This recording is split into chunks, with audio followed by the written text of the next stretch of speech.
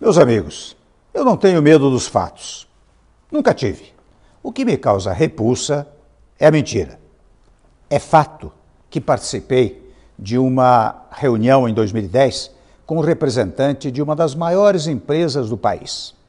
A mentira é que nessa reunião eu teria ouvido referência a valores financeiros ou a negócios escusos da empresa com políticos. Isso jamais aconteceu nem nessa reunião, nem em qualquer outra reunião que eu tenha feito ao longo de minha vida pública, com qualquer pessoa física ou jurídica. Jamais colocaria a minha biografia em risco. O verdadeiro homem público tem que estar à altura dos seus desafios, que envolvem bons momentos e momentos de profundo desconforto.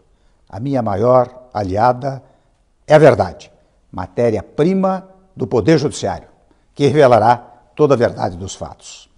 Muito obrigado.